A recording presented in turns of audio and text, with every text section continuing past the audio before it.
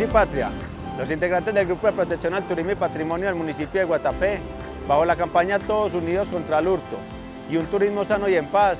venimos realizando campañas de prevención y actividades de control en sitios de interés turístico. Esto con el fin de prevenir el hurto a personas. De igual manera, nos encontramos también adelantando actividades de registro a personas y solicitud de antecedentes, con el fin de prevenir el consumo de sustancias eh, psicoactivas o prohibidas en el espacio público. Igualmente queremos invitar a todos los prestadores de servicios turísticos del municipio para que continuemos con la formalización, teniendo en cuenta los requisitos establecidos en el artículo 87 de la Ley 1801 del 2016, requisitos que son necesarios para el ejercicio de la actividad económica. De igual forma,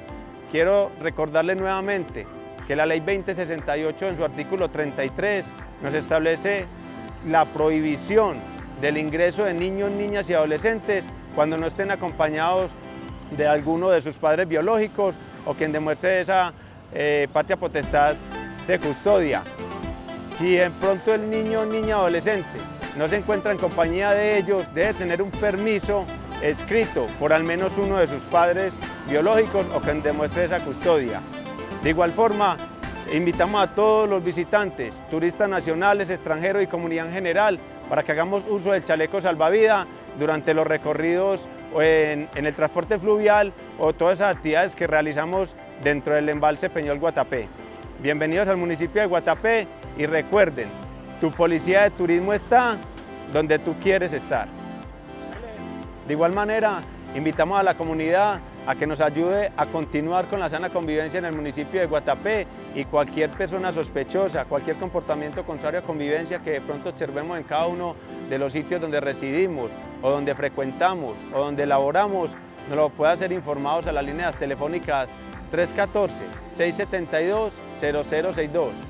314-672-0062 del cuadrante único de policía Guatapé. De igual manera tenemos dispuesta la línea 861-0212, 861-0212. De igual forma invitamos a todos los prestadores de servicio turístico del municipio,